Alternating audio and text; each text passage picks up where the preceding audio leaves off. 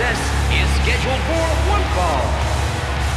Making his way to the ring from Toronto, Canada, the WWE Champion, The Legend.